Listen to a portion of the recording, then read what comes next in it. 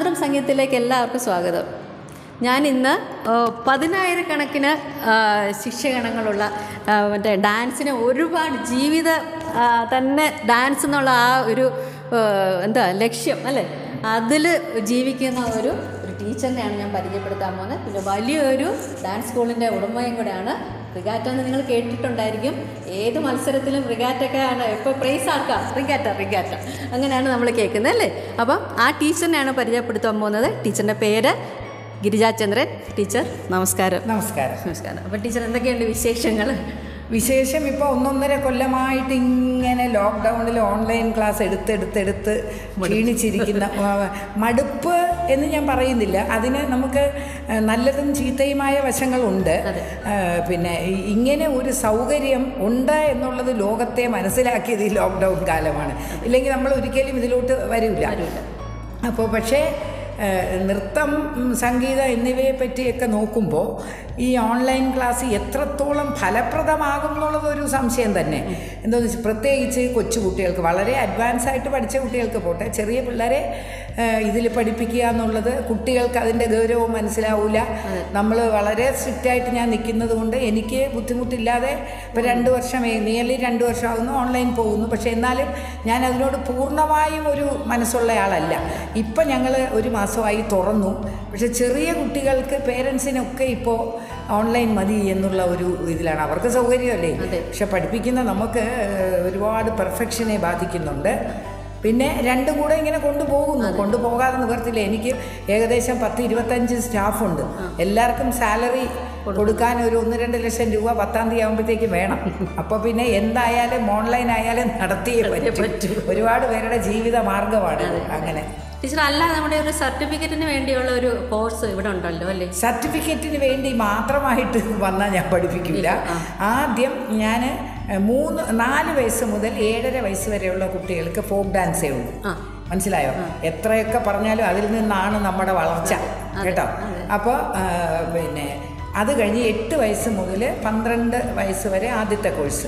അത് ഞങ്ങൾ അണ്ണാമല യൂണിവേഴ്സിറ്റിയുടെ സർട്ടിഫിക്കേഷൻ കോഴ്സാണ് നടത്തുന്നത്. വളരെ സ്ട്രിക്റ്റ് ആയിട്ടുള്ള ക്ലാസ്സും സംസ്കൃതവും കർണാടക സംഗീതവും ഡാൻസുമാണ് മൂന്ന് വിഷയങ്ങൾ സീരിയസ് ആയിട്ട് പഠിക്കുന്നവരെ മാത്രമേ ഞങ്ങൾ അഡ്മിഷൻ കൊടുക്കത്തുള്ളൂ.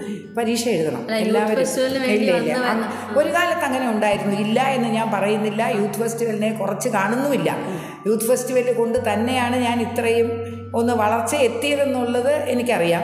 പക്ഷേ അമ്മയ്ക്ക് അമൃതൻ ടീച്ചറിനൊക്കെ അറിയാം. ഒരു കാലത്ത് യൂത്ത് ഫെസ്റ്റിവലിന് ഒരു മാന്യതയുണ്ടായിരുന്നു. ഇപ്പം അതില്ല. അതുകൊണ്ട് രണ്ടായിരത്തി ആറ് തൊട്ട് ഞാൻ നിർത്തി. ഇപ്പോൾ പതിനഞ്ച് വർഷമായിട്ട് ഇല്ല. മത്സരമില്ല. കോഴ്സ് മാത്രമേ ഉള്ളൂ. B A M A course എല്ലാം ഉണ്ട്. പിന്നെ ഹൗസ് വൈഫ്സിന് ഗൃഹനായിക എന്ന് പറഞ്ഞൊരു പ്രത്യേക സെക്ഷൻ തന്നെയുണ്ട്. അതിലും ഒരു പത്തൊൻപത് പേരുണ്ട് എനിക്ക്. നന്നായിട്ട് പോകുന്നു. അവർക്കും ഇതേ സ്ട്രിക്റ്റ് തന്നെ തന്നെയാണ് പഠിപ്പിക്കുന്നത്. അക്കാഡമിക്സ് നല്ലതായിട്ട് നോക്കി തന്നെയാണ് പഠിപ്പിക്കുന്നത്. ടീച്ചർ ഇത് ആയിരത്തി തൊള്ളായിരത്തി എഴുപതിൽ എഴുപത്തിരണ്ട്. എഴുപത്തിരണ്ടിൽ തുടങ്ങിയിട്ട് ഇപ്പൊ ഇത്രയും കാലമായിട്ട് അമ്പതാവുന്നു. ഇപ്പൊ അമ്പത് വർഷം ആകുന്നു അതെ, അതെ. അപ്പൊ അതിന്റെ പുതിയ ഐറ്റമൊക്കെ റെഡിയായി വരുവാണ്. വരുന്നു വരുന്നു. അൻപത് എന്ന് പറയുന്നത് ഒരു വർഷത്തെ ആഘോഷമാണ്. എല്ലാ മാസവും രണ്ട് രണ്ട് ദിവസം വെച്ച് വലിയ ഫെസ്റ്റിവൽ എന്ന് പറഞ്ഞാൽ രണ്ടായിരത്തി ഇരുപത്തിരണ്ട് ഡിസംബർ ഇരുപത് മുതൽ മുപ്പത് വരെ പത്ത് ദിവസത്തെ വലിയ ഫെസ്റ്റിവലാണ്. എല്ലാ കൊല്ലവും ഏഴ് ദിവസത്തെ ഫെസ്റ്റിവൽ ഉണ്ട് ഞങ്ങൾക്ക്. ഇപ്പോഴും ഉണ്ട്. പുറത്തുനിന്നുള്ള ഒരുപാട് വലിയ വലിയ ആർട്ടിസ്റ്റുകളെ ഞാൻ കൊണ്ടുവരും. ഞങ്ങളുടെ കുട്ടികളുടെ മാത്രമല്ല ഒരുപാട് ഗസ്റ്റ് ആർട്ടിസ്റ്റിനെ കൊണ്ടുവന്ന് അവരെയൊക്കെ കുട്ടികൾക്ക് പരിചയപ്പെടുത്തുകയും അവരുടെയൊക്കെ പെർഫോമൻസ് വെക്കുകയും വലിയ ഗ്രാൻഡായിട്ട് തന്നെയാണ് നടത്തുന്നത്. വെച്ചാൽ കുട്ടികൾ മറ്റുള്ളവരുടേതും കൂടെ കാണണം. നല്ല നല്ല എക്സ്പേർട്സിനെ പിന്നെ വിസിറ്റിംഗ് ടീച്ചേഴ്സിന്റെ ക്ലാസ് ഉണ്ട്. മൃദംഗത്തിന്റെ താളം ക്ലാസ് ഉണ്ട്. അങ്ങനെയൊക്കെ ഒരു ആറ് കൊല്ലം ഇവിടെ പഠിച്ചു കഴിഞ്ഞാൽ സ്വന്തമായിട്ട് ക്ലാസ് കൈകാര്യം ചെയ്യുന്ന ഒരു സ്റ്റാൻഡേർഡിൽ എത്തും. അത് കഴിഞ്ഞ് രണ്ട് കൊല്ലത്തെ ടീച്ചിങ് പ്രാക്ടീസും കൂടെ ഉണ്ട്. ഇതിൽ നിൽക്കണം എന്നുള്ള കുട്ടികൾക്ക്. അങ്ങനെ എട്ട് കൊല്ലം. ആകെ. സന്തോഷത്തോടെ പറയാം ഈ തിരുവനന്തപുരത്തുള്ള മിക്കവാറും പ്രൈവറ്റ് സ്കൂൾസിലൊക്കെ ഡാൻസ് ടീച്ചേഴ്സ് ഞങ്ങളുടെ ടീച്ചർമാർ തന്നെ. ടീച്ചർമാർ തന്നെ. ഞാൻ അങ്ങനെ അവരെ ട്രെയിൻ ചെയ്യും. അതെ അങ്ങനെ നന്നായിട്ടാണ് പോകുന്നത്. കുട്ടികൾ ടീച്ചേഴ്സിന് അപ്രന്റി ഇത് ടീച്ചിങ് പ്രാക്ടീസ് കഴിഞ്ഞാൽ ആദ്യത്തെ രണ്ട് കൊല്ലം ഞാൻ ഞങ്ങളുടെ സ്ഥാപനത്തിൽ തന്നെ വർക്ക് ചെയ്യിപ്പിക്കും. അപ്പോൾ സ്റ്റൈഫന്റ് കൊടുക്കും. അങ്ങനെ. പക്ഷേ ഇവിടെ ഒരു മുപ്പത് ശതമാനം കുട്ടികൾ ഫ്രീ ആയിട്ട് പഠിക്കുന്നവരാണ്. സാമ്പത്തികമായിട്ട് വളരെ പിന്നോക്കം നിൽക്കുന്ന ടാലന്റഡ് ആയിട്ടുള്ള കുട്ടികൾ അങ്ങനെയുള്ള കുട്ടികളാണ് ഞങ്ങളുടെ ടീച്ചേഴ്സ്.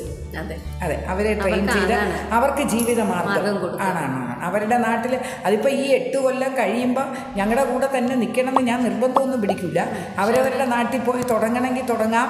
അവരവർക്ക് സ്വന്തമായി എല്ലാവരും ഞങ്ങളുടെ അവിടെയും വർക്ക് ചെയ്യുന്നുണ്ട് സ്വന്തമായിട്ടും ക്ലാസ് എടുക്കുന്നുണ്ട്.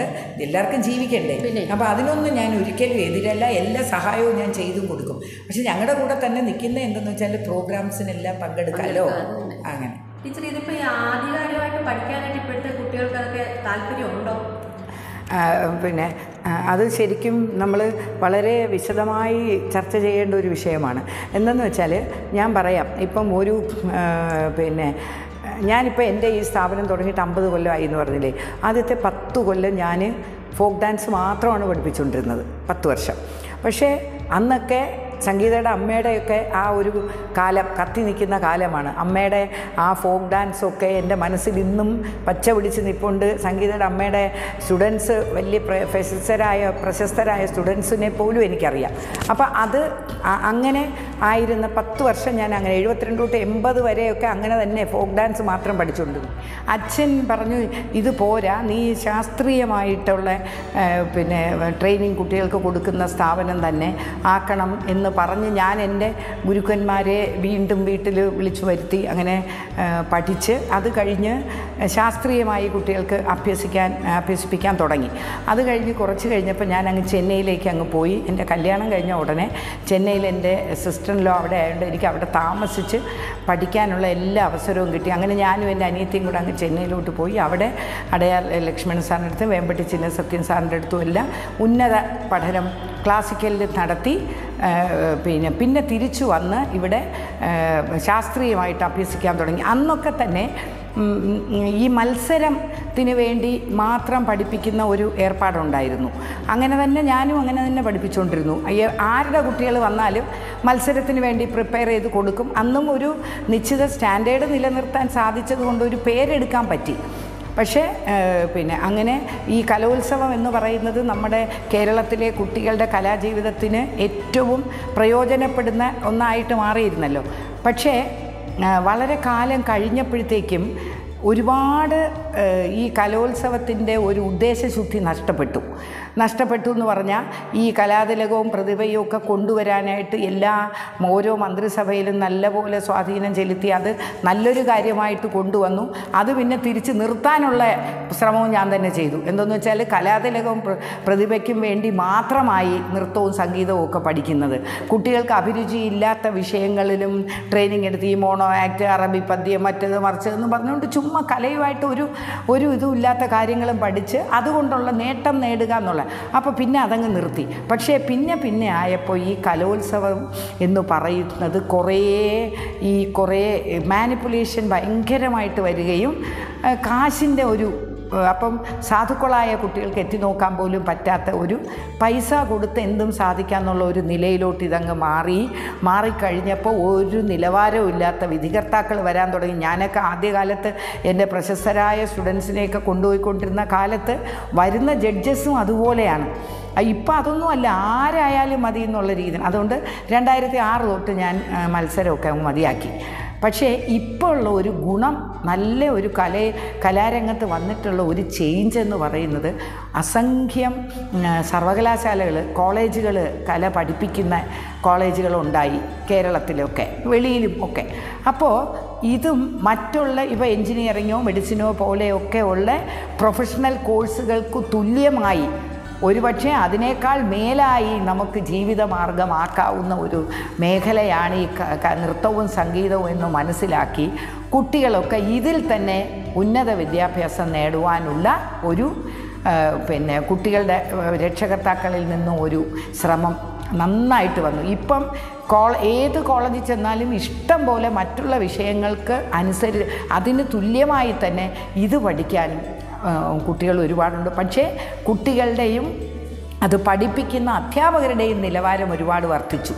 എല്ലാവരും ശാസ്ത്ര പിന്നെ ഇപ്പം ഞാൻ തന്നെ എനിക്ക് എഴുപത് വയസ്സായി. ഞാൻ ഇപ്പോഴും ഇത് പഠിച്ചുകൊണ്ട് തന്നെയാണ് ഇരിക്കുന്നത്. സംസ്കൃതമായാലും അത് അതിനോടനുബന്ധിച്ച പുസ്തകങ്ങളായാലും ഒക്കെ ഇങ്ങനെ പഠിച്ചുകൊണ്ടിരിക്കും എത്ര പഠിച്ചാലും ഇത് തീരൂലല്ലോ അപ്പോൾ അത് അതുപോലെ ആധികാരികമായി നല്ല വിവരത്തോടെ പഠിച്ചാലല്ലാതെ ഈ ഈ രംഗത്തും നിലനിൽക്കാൻ പറ്റുകയില്ല എന്നുള്ളത് ഇപ്പോൾ കുട്ടികൾക്ക് നല്ല ബോധ്യമുണ്ട്.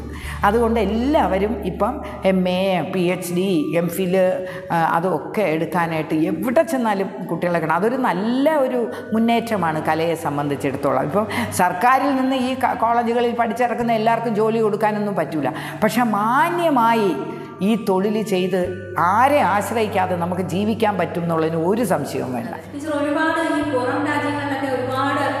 ആ. ആ. ഉണ്ട് ഉണ്ട് ഉണ്ട്. പിന്നെ ആദ്യമായിട്ട് ഞാൻ മലേഷ്യ സിംഗപ്പൂർ ജപ്പാൻ പിന്നെ ആഫ്രിക്ക ജർമ്മനി ദുബായിൽ ഗൾഫ് കൺട്രീസിലെല്ലാം ഒക്കെ പോയിട്ടുണ്ട്. അപ്പോൾ അതെന്ന് പറയുന്നത് അതിലെനിക്ക് ഏറ്റവും പ്രധാനമെന്ന് തോന്നാവുന്ന നെൽസൺ മണ്ടേലയുടെ എൺപത്തി അഞ്ചാം പിറന്നാളിന് പിന്നെ ചാറ്റ്സ്വർത്ത് സ്റ്റേഡിയത്തിൽ സൗത്ത് ആഫ്രിക്കയിൽ വലിയൊരു പ്രോഗ്രാം നടത്തി.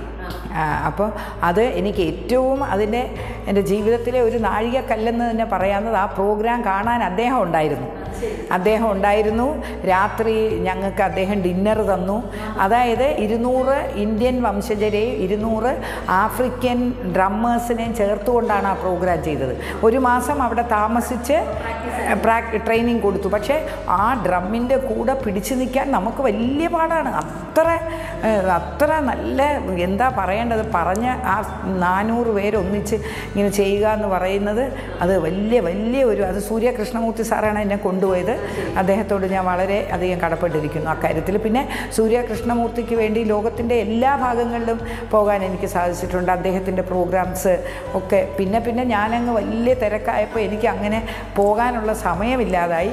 പിന്നെ ജപ്പാനിൽ ജപ്പാനിലെ പ്രോഗ്രാംസ് എന്ന് പറഞ്ഞാൽ അവിടെ വളരെ അവിടെയുള്ള ടെക്നോളജി നമ്മൾ സ്റ്റേജിലൊക്കെ ഓരോന്ന് ചെയ്യാനായിട്ട് പണ്ട് നമ്മുടെ നാട്ടിലൊക്കെ ആണെങ്കിൽ വല്ലതുമൊക്കെ വെച്ച് കെട്ടണം എടുക്കണം സ്റ്റേജ് ഡെക്കറേഷനൊക്കെ ചെയ്യണം. ഇതൊന്നും വേണ്ട ലൈറ്റിൽ കൂടെ നമുക്ക് ഏത് ലോകം വേണോ അവർ കാണിച്ചു തരും. അങ്ങനത്തെ ടെക്നോളജി അല്ലേ അവിടെ? അപ്പോൾ അങ്ങനെ പക്ഷെ വളരെ അപ്രീസിയേഷൻ ആയിരുന്നു ഇന്ത്യൻ ക്ലാസിക്കൽ ഡാൻസിന് ഒരു രണ്ട് മൂന്ന് രണ്ട് മൂന്ന് മാസം മുമ്പ് ഇത് മുഴുവൻ ജാപ്പനീസിലോട്ട് ട്രാൻസ്ലേറ്റ് ചെയ്ത് നമ്മൾ അയക്കണം. അയച്ച് അവിടെയുള്ള ഓഡിയൻസിന് മുഴുവൻ അവരിത് കൊടുക്കുവാണ്. നമ്മുടെ പുരാണങ്ങളും പുരാണ കഥകളും നമ്മളെക്കാട്ടി നന്നായിട്ട് അവർക്കറിയാം.